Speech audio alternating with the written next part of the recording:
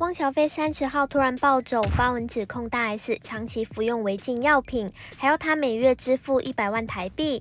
事情曝光后，引发轩然大波。之后，徐妈妈也崩溃解释，大 S 因为压力太大，吃的是抗癫痫的药和松弛剂，不是违禁品。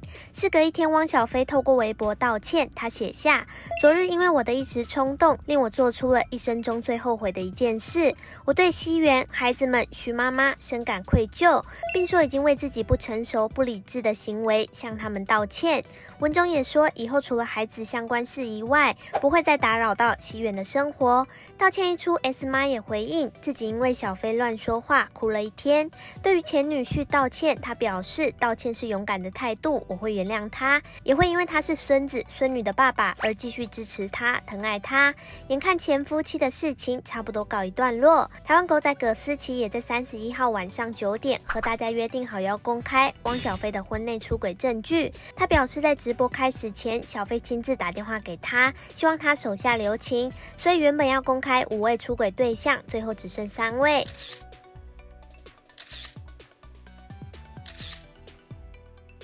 而葛思琪不止曝光汪私下跟多名女子的亲密照，甚至还与出金人表示，张颖颖曾经为汪小菲拿过孩子。张颖颖的豪车是用一条小生命换来的。张颖为汪小菲堕胎这件事情呢，我有说过，堕胎的医院叫做和路家医院，就在北京。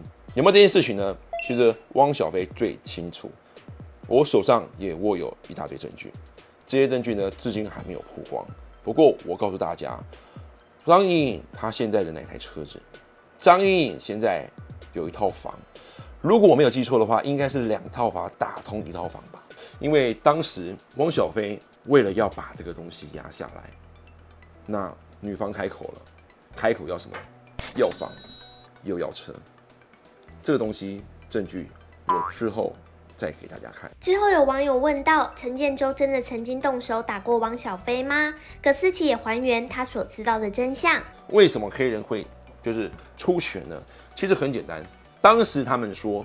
是某些立场的东西不同，但是我告诉大家，其实不是立场不立场的问题，其实就为一个很简单的事情，就是产检。当时大 S 怀胎已经有九个月了，当时就为了产检小小的个问题，两个人发生了口角。当时发生口角的时候，妹妹在旁边，小 S 就直接出来劝架，你不应该欺负姐姐，因为她有孕在身。结果小 S 这么一出来的时候啊，汪小菲竟然对小 S。动手了，这一推，把小 S 推倒在地上。当时把小 S 推倒在地上之后呢，大 S 要保护妹妹啦，就说：“汪小菲，你不可以这个样子，我必须要跟我妹妹道歉。”汪小菲只要气头一上来啊，这个脖子比印度神油抹过都还硬啊！不道歉就不欠这样。当时做了什么事情？他一手也把我们的大 S 怀胎九个月的大 S 推倒到地上，哇！不得了了，不讲武德。当时谁出现了？就是在旁那在旁边的黑人。黑人当时呢见状就直接冲出来，马上给汪小菲一记。